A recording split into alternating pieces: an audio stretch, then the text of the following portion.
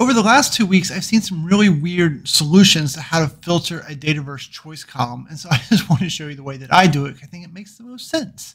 So let's first switch over here and show you a crazy example. So here we have a gallery where the items property is set to filter our Dataverse table where favorite animal sets or choice column equals, and they do a lookup against choices SharePoint employees' favorite animals, right? Because we know that choices SharePoint employees' favorite animals gives you a list of the values, and that's often what you'll use in a dropdown. Then what they did was they figured out what was the value, and that is the number that is automatically created for these that most of us have no idea what it is. But that will return the right record, that returns the thing they want, and they do a dot value there, and then that will match the favorite animal. Oh my goodness, I took me like five minutes to even figure out how to write this for myself.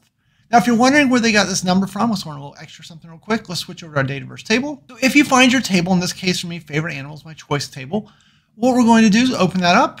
And then if you scroll down here, you see it's a global choice, so yes.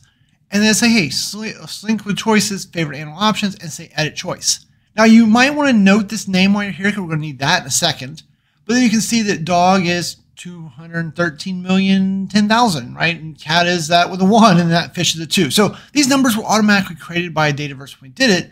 And these are the numbers they looked up to then filter. So switching back over here, that is filtering for all the dogs, right? I've got dogs shown there so you can see it. And if we were to change that from a zero to one, now we'd see all the people that like cats. Okay, so this works, but this is really hard to do. So let's not do it this way. Instead, what I want you to do is go up here and say favorite animal equals space. And so that name that you just saw, so favorite animal options, okay, so that's your choice set. If you do a dot on that, then you will see your different choices in alphabetical order, and there's dog, and now we get the dog.